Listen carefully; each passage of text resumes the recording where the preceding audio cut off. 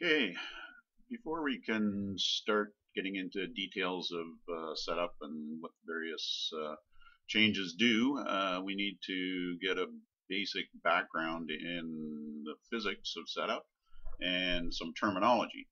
So first thing, tires. Tires are the most important thing in your setup. If you haven't got the right tires, uh, you know, you can make all the setup changes you want, uh, but you're never going to be as fast as the fast guys. So first thing is to make sure you've got the right tires for the surface that you're running on. Uh, that's usually pretty easy to do. You can usually just talk to the fast guys and they'll be more than willing to help you out. Um, the other thing with tires is how the uh, vertical load translates to lateral grip. Uh, we'll talk about this a little bit in uh, the next slide. Uh, next thing is balance. This is the distribution of the weight transfer between the inside and outside tires and between the front and the rear. Um, and we can adjust and manipulate this to change the handling characteristics by changing our uh, roll stiffness values, uh, the roll center positions of the uh, suspension, and the, uh, the, CG position and height, which is a little more difficult to do because that involves changing uh, uh, and lowering components on the chassis.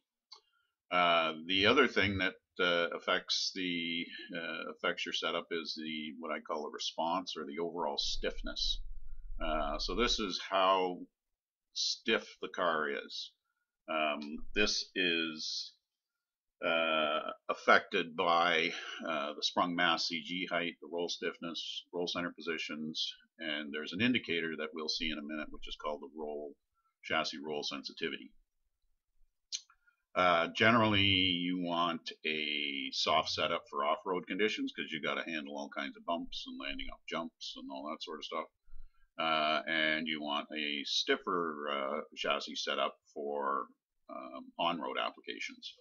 Um, even you know the stiffest setups you want are probably for uh, cars that are running with foam tires. Uh, foam tires are very stiff and and don't have a lot of uh, compliance in the tires, so you need to make minimize the amount of chassis roll that you have so that the uh, tire contact patch stays relatively constant. Uh, next is tire contact patch. Okay, so this is affected by the tread, the tire tread, the compound that you're running, uh, the sidewall stiffness, the insert you have in the tire and the air gap between the insert and the actual tire itself. Um, various different kinds of tires, they vary all over the map. Uh, you know, we've got uh, the very stiff foam tires for on-road uh, 8 scale and 10 scale cars. We've got uh, rubber tire on-road cars that have more compliance in the sidewall um, and more deformation of the tire carcass itself. And then we've got the other extreme, which is off-road, you know, where the tires are kind of call them balloons, somewhere between a balloon and a pizza cutter, depending on how much uh, RPM you've got in the tire. Um, so obviously the tire contact patch is something that's very important. Um, what you'd use to to maximize that is uh, your static camber settings and the camber gain. That's how the camber changes as the suspension moves. Uh, also the chassis roll sensitivity. The more the chassis rolls, the more camber gain and more camber change you get. Uh, and your ultimate goal here is to maximize the tire contact patch. Next is steering geometry. Um, you need to try and optimize your steering Ackerman to suit the track layout. Uh, if you've got a tight twisty track, you're going to want more steering Ackerman. Uh, an open sweeping flowing track is probably going to work better with less Ackerman. And last but by no means least is damping. Um, this is how you set up your shocks uh, to control the springs and anti-roll bars. As I say here, the springs and anti-roll bars are the muscle that resists the roll of the car, and the dampers or shocks are what control that muscle or the brains of the system so that the the, uh, the car doesn't start oscillating out of control.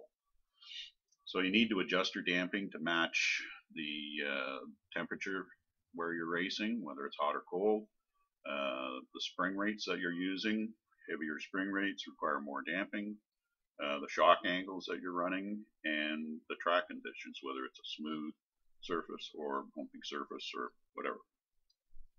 Okay, first thing I want to talk about is some characteristics of tires.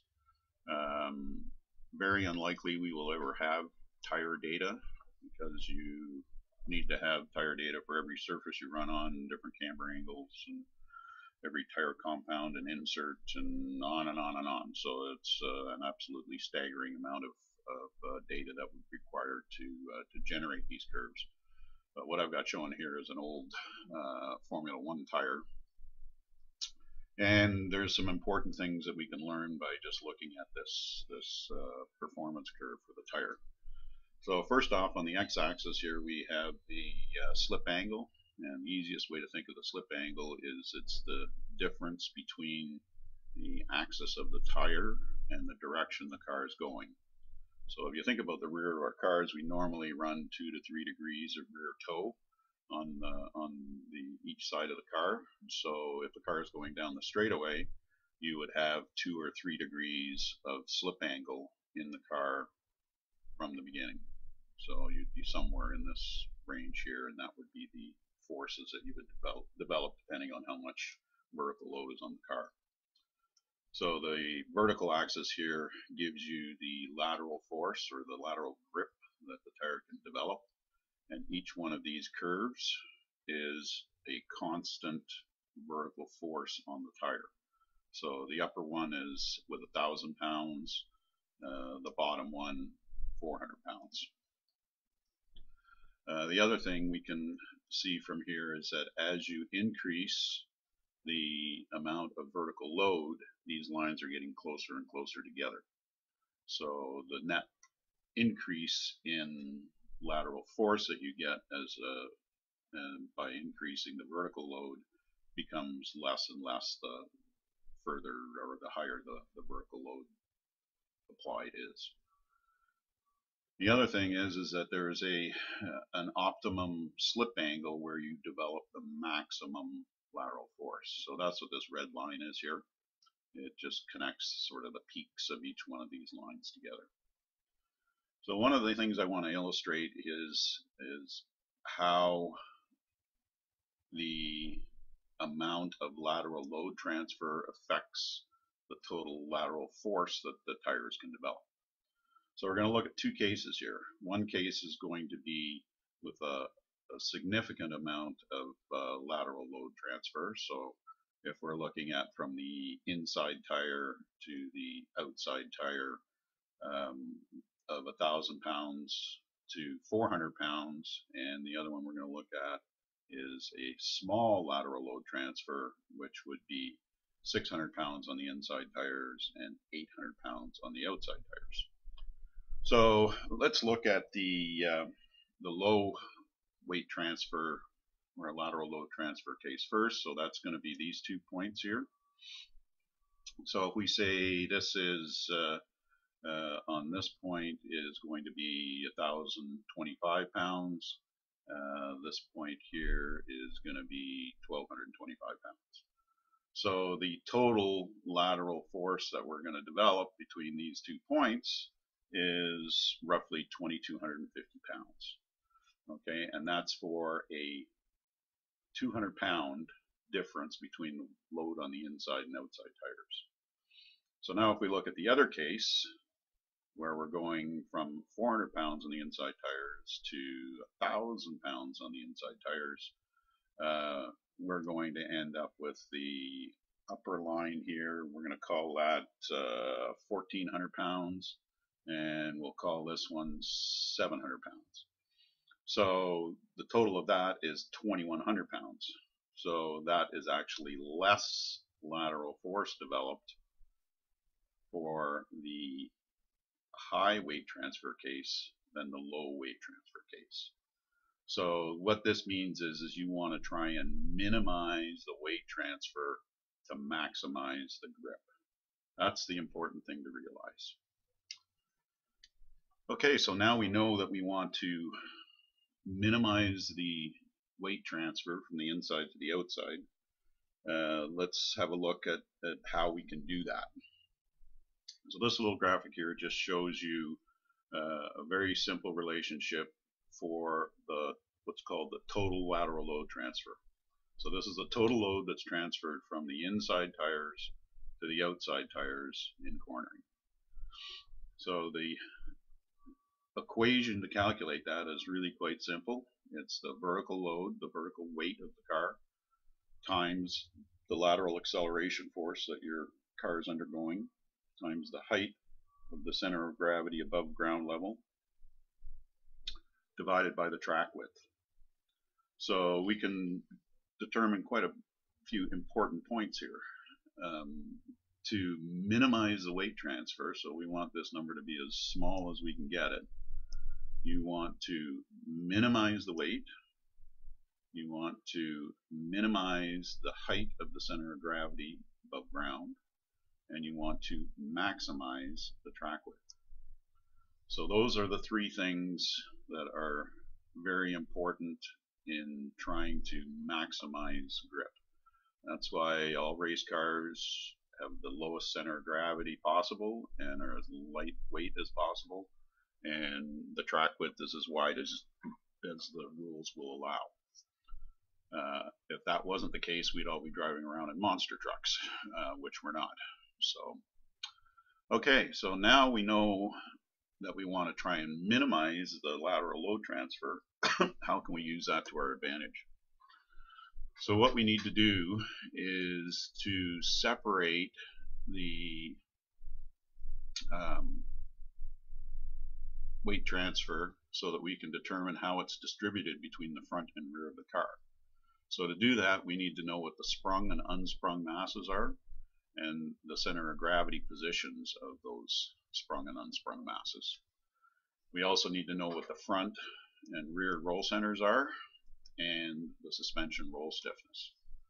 So you can see here in this little graphic we've got the sprung mass now so we've separated the sprung mass out and then we have a front unsprung mass and a rear unsprung mass and these values are essentially the weight of the tires and the portion of the uh, uh, suspension arms that are outboard of the shocks and axles and well, portion of the axles and wheel bearings and that sort of thing. So that's your unsprung mass. Your sprung mass is everything that's inboard of the shocks and is generally everything that's attached to the chassis.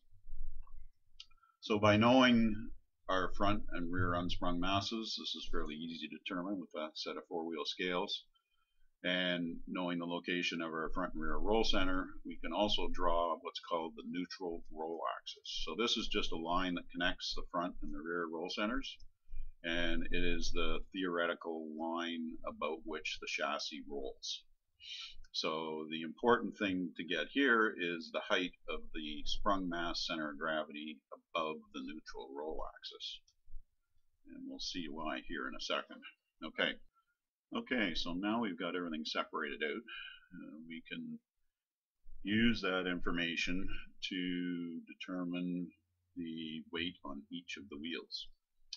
Uh, so the first thing is the uh, um, sprung g-force, which is the lateral force that's developed by uh, cornering forces. That is simply the sprung mass times your lateral g-force. Now the distance from the neutral roll axis to the center of gravity of the sprung mass times your sprung g-force gives you what's called the roll moment. So the roll moment is what actually makes the chassis roll in the corners. What's resisting that roll moment is our shocks, springs, and anti-roll bars out here. So the stiffer these components are, the less the chassis rolls.